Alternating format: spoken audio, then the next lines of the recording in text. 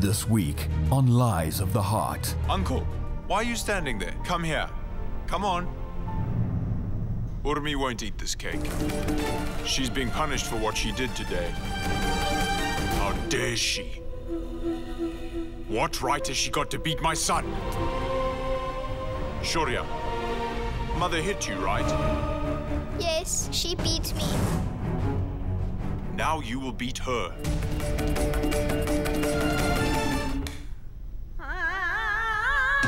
For a woman, the biggest villain is none other than her husband. Lies of the Heart.